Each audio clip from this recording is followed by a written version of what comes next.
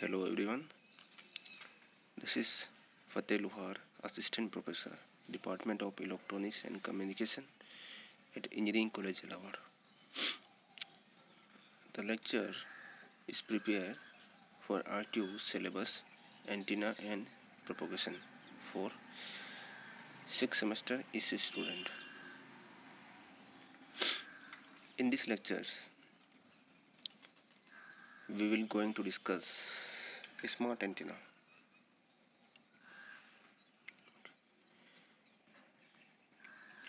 And also we will discuss the term basic concept of smart antenna concept and benefit of smart antennas.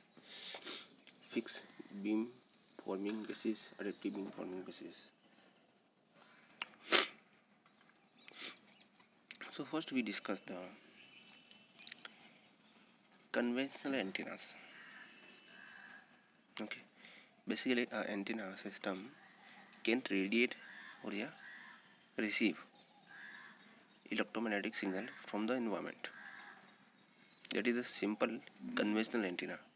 The conventional antenna may be uh, microstrip patch antenna reflector antenna horn antenna helical antenna, log periodic antenna. Okay so they are lot of the type of the conventional antenna but smart antenna the meaning of the smart antenna means conventional antenna have the additional circuitry to perform multiple functions such as uh, additional circuit can be switching the beam of the antenna in any directions. The additional circuitry can increase or decrease the gain of the antenna. The additional circuit can be change the phase of the antenna. Okay. So smart antenna have the additional circuitry to perform multiple tasks according the user requirement. Basically this the smart antenna switch or yeah, functioning the multiple task according the requirement of user. It automatically functioning according the user requirement. Okay? So let's take an example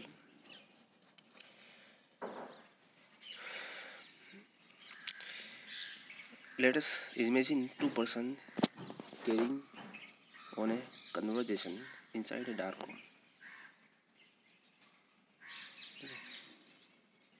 this is the example two, they are in this dark room there are the three persons one person is listener and other two person is speaker one person is desired speaker other person is unwanted speaker okay. So the person is this listener is have to move toward the desired speaker and ignore the unwanted speaker. So the listener among the two persons is capable of determining the location of the speaker as he move about the room because the voice of the speaker arrive at each acoustic sensor the ear at a different time. The human processor, the brain, compute the direction of the speaker from the time differences or the delay of the voice received by the two ears. Afterward, the brain add the strength of the signal from each ear so as to focus on the sound of the computed direction.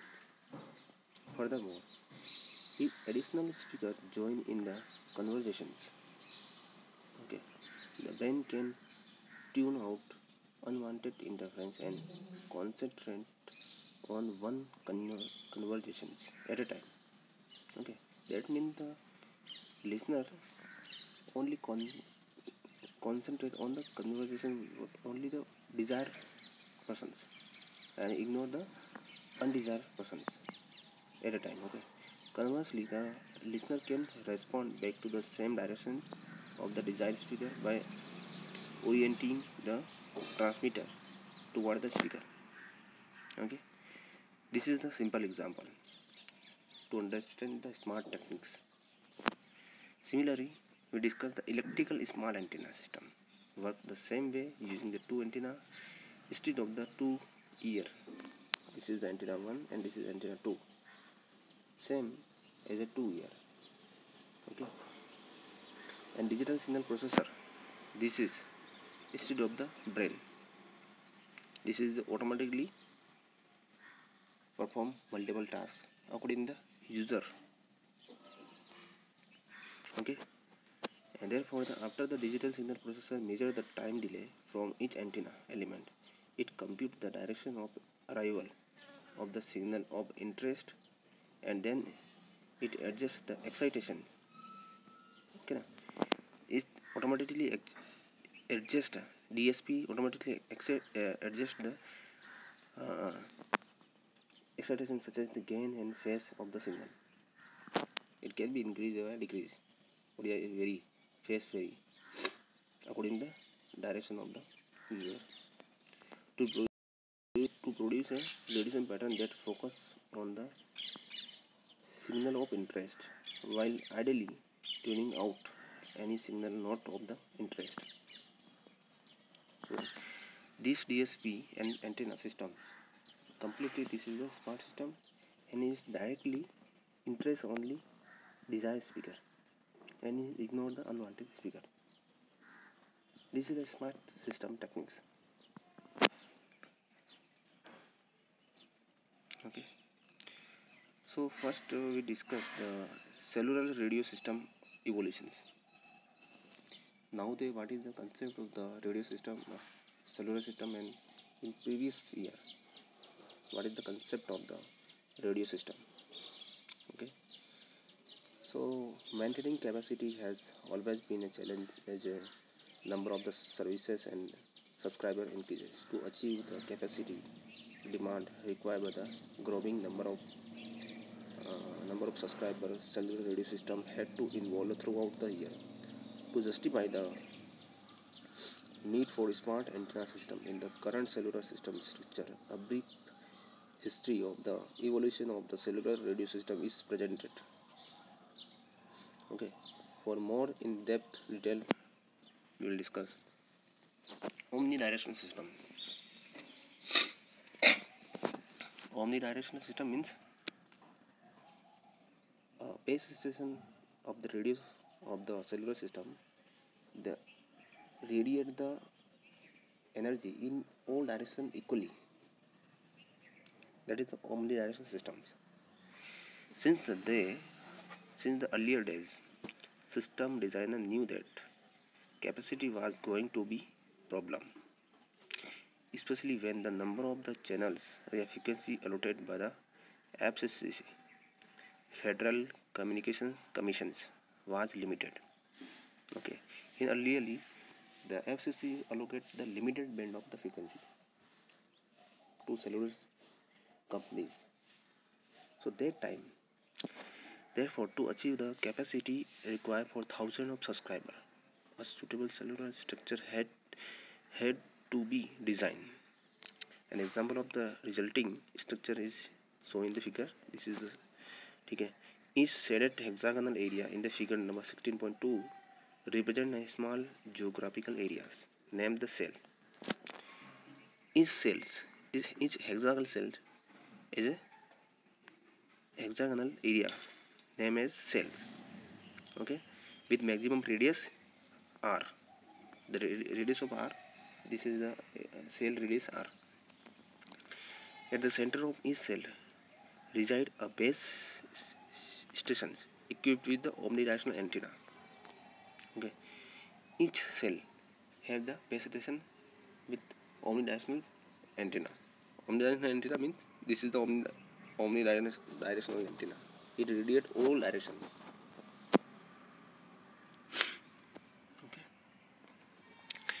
with a given band of the frequency.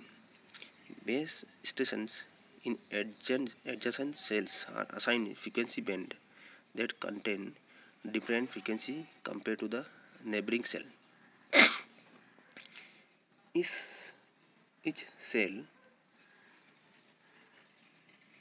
and neighbor cells have the different frequency bands okay by limiting the coverage area to within the boundaries of the cell the same band of frequency may be used to cover different cells that are separate from one another by distance large enough to keep interference below the threshold of the others. To remove the so basically the FCC provide the limited frequency band.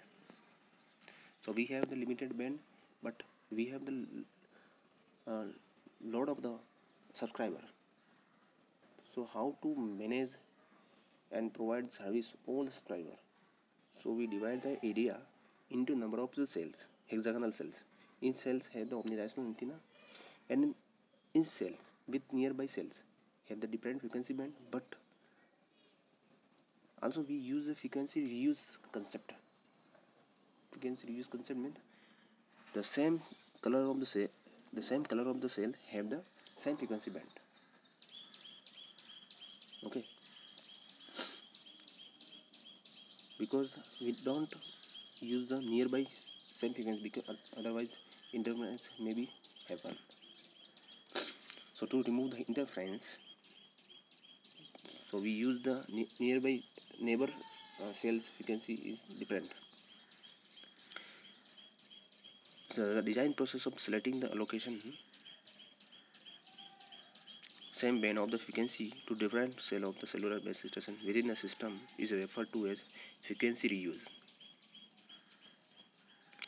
this is so in the figure by repeating the shaded pattern or a cluster. Basically the same color of the cells represent the cluster. In the first cellular radio system deploy each base station was equipped with the omnidirectional antenna with typical amplitude pattern as shown in the figure because only a small percent of total energy reached the user and the remaining energy was radiated in undesired location. As the number of the user increases, so did the interference. Therefore, thereby reducing the capacity and immediate immediate solution to this problem was to subdivide a cell into a smaller cell. This technique is referred to as cell splitting. the meaning of this basically that time use the omnidirectional antenna and omnidirectional antenna radiate equally energy to all directions so maximum energy is wastage due to the radiating undesired directions their direction because they are a limited a minimum subscriber but other direction has a maximum subscriber okay suppose uh, suppose example uh, small cells in north side have the minimum subscriber user and in south side have the maximum. But omnidirectional antenna radiate in all direction equal energy. That means so in south side in north side energy maximum north energy is wasted in north side so to solve this problem that time they use the cell splitting. Cell, cell splitting means the size of the cells means the radius of the cells is increase according the increase or decrease according the subscriber. Okay. The cell split is shown in the figure number A divided subdivided and congested cell into smaller cells called the microcells, each with its own base station and corresponding reducing in the antenna height and transmitter power. Cell splitting improve capacity by decreasing the cell radius R and keeping DR ratio unchanged. D is the distance between the same frequency cell, same cluster. So, cell splitting means the cell is divided into this pattern. Okay? Micro cell and this is major cell. Microcells represent the lot of the number of uh, is more. And this large cell is in this area that there is limited only minimum number of the subscriber available. Okay? Now the smart antenna system smart antenna system means the sectorize the base station antenna. Basically this is the antenna. This is the directional antenna not not a omnidirectional antenna. Directional antenna means this is the directional antenna in one direction. This is basically this is the array system. This is array represent one direction. This array represent one direction. This array one direction means this cover 120 this cover 120 this cover 1 total 360 angle. Okay. And the vary power according to the user requirement. Okay. Basically if the in this side energy because user is more then it increases the power. Okay. In mode in directions and also increase the gain pattern okay according the user availability despite its benefit. Cell sectoring did not provide the solution needed for the capacity in problem. Therefore the system desire began to look into system that could dynamically sectorize a cell. Hence they began to examine smart antenna system. This is the pattern represent the omnidirectional and this represent the sectoring. Basically 120 sectoring basically is cover 120 only one side. Or this omnidirectional cover the whole direction. Okay.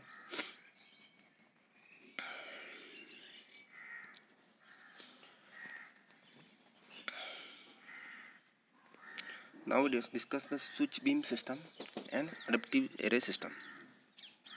This pattern is switch beam system and this pattern represent additive schemes. So what is the switch beam system